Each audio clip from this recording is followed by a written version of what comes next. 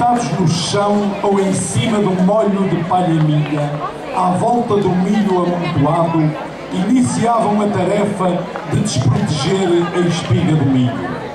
Os mais novos juntavam-se para falar dos namorados e compartilhar aventuras e descobertas. Os mais velhos, esses falavam dos sonhos passados e mal concretizados e das voltas e reviravoltas que a vida deu às suas vidas.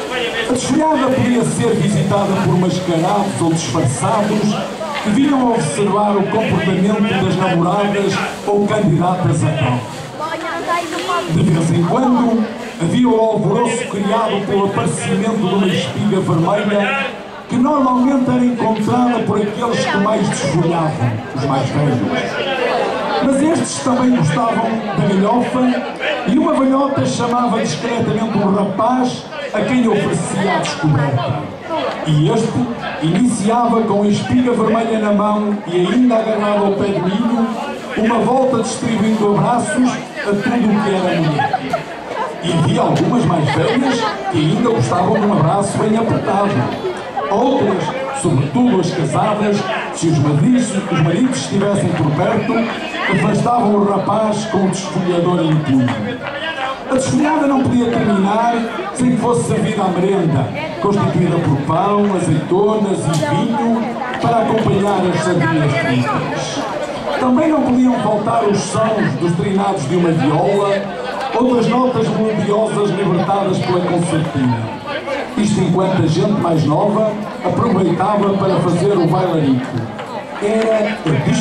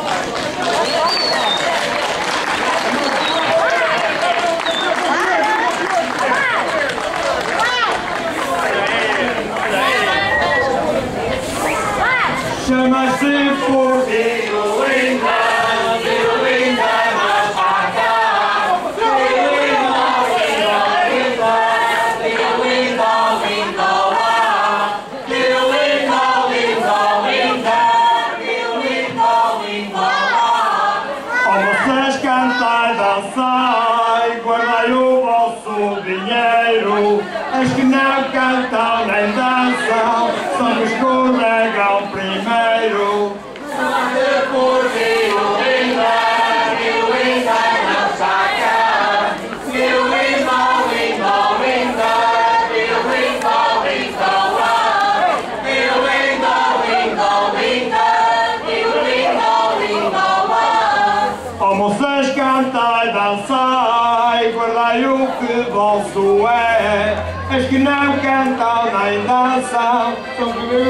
rag off bag.